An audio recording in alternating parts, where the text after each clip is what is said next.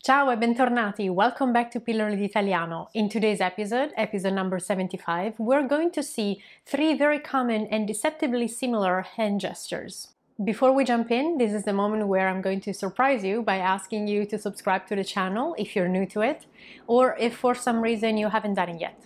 Subscribing is the best way to show your support for this channel.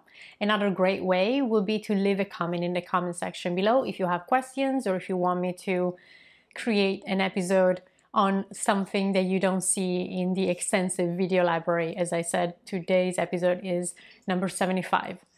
Uh, so go back in the archives, but if for some reason you cannot find something, leave a comment below, let me know, and I will either point you towards the right episode if it already exists, or I will make one just for you. So why are we talking about hand gestures today? Stereotypically speaking, when we think about Italians, we think about people who talk using their shoulders and moving their hands and all that kind of stuff. Um, yes, it is true. I'm here in front of the camera. You can see every now and then that I'm moving my hands, for sure. This is not something that is just associated to being Italian, though. Uh, I live in the US, and a lot of people here in the States use their hands too when they're speaking. They use them in different ways, though with Italians, um, I could have almost a full conversation without even opening my mouth because some hand gestures are so precise.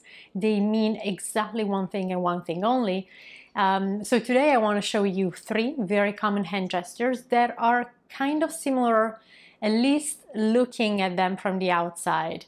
I am going to show you how they're actually um, different in the way that you use your your hands and your body to create them, and different in meaning.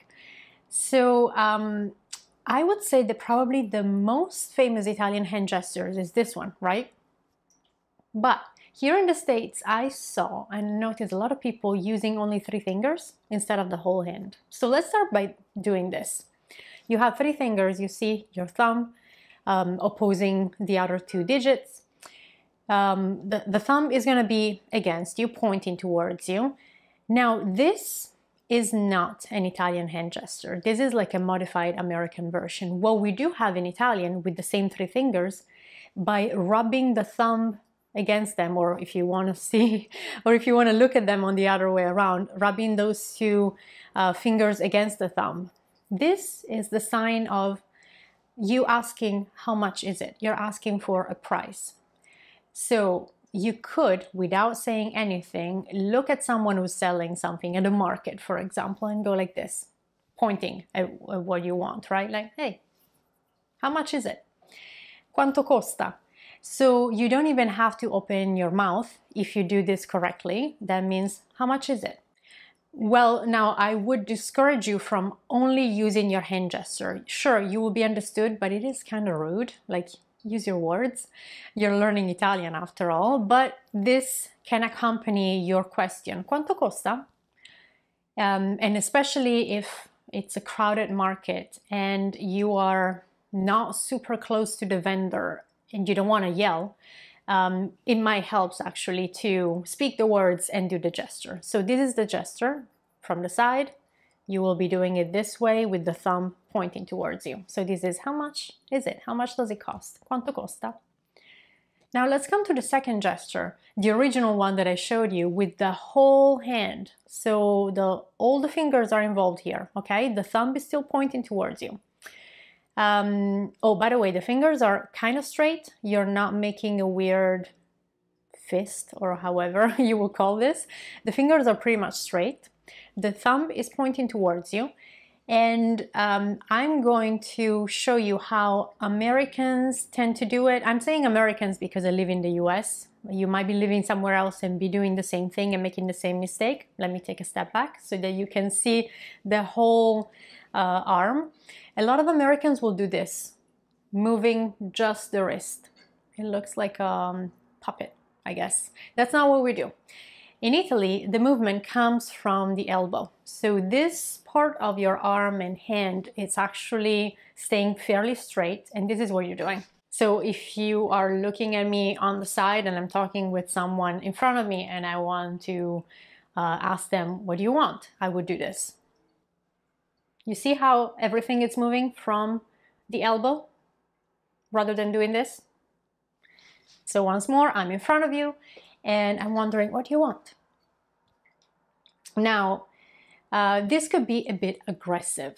So the idea is to use it uh, with caution. Don't go to a stranger to his face doing this. It's kind of aggressive, like it's like saying, What the heck do you want? or What the heck are you looking at? Um, so just chill with this, okay? But once more, if there is some space between you and the person that you're talking with, you're fairly familiar with that person, that you could say, hey, what do you want? Um, maybe you're wondering if they want a bite to eat and you're about to order some focaccia and pizzetta and other snacks. So you're asking them, hey, what do you want? By the way, if you do this, what do you want closer to your mouth, it becomes a sort of a what do you, what do you want to eat? Um, so you could ask him, hey, what do you want to eat? Cosa vuoi mangiare? Cosa vuoi? Or simply, cosa vuoi? So this is how you could use it in a friendly way. Once more, don't go super close to someone you don't know and start yelling at them. Cosa vuoi? Very aggressive. So let's all take a deep breath and let's not use this in any scenario you can think of. Unfortunately, this is the most famous Italian hand gesture and I saw it. I'm not gonna name movies here, um, but I saw it misused so many times to the point that some people who are pretending to be Italian in the movies will introduce themselves, saying their names and doing this at the same time. It, it would be like me saying, Sono Ludovica. Why am I doing this? Why am I saying my name and also wondering what the heck you want from me? It doesn't really go with it, with the situation, okay? So this is more the what do you want or what do you want to eat if you're doing it closer to your mouth. Um, cosa vuoi, I would say it's the translation if you were to use your beautiful Italian words. Cosa vuoi? Now the third Italian hand gesture we're gonna see today, let me come closer to the camera for a second. It starts from the same position, the same hand gesture, at least the beginning of it. So the same concept of all fingers, uh, whole fingertips touching one another. The fingers are fairly straight. Once more, don't do this weird oh. Um, now, you're not moving the arm anymore. For this third hand gesture, what you do is just opening and closing your fingers. I'm showing you from the side. So I'm, you're doing it a couple of times, maybe three times. Don't, don't go crazy, okay? Um, you're doing this and it means, are you afraid?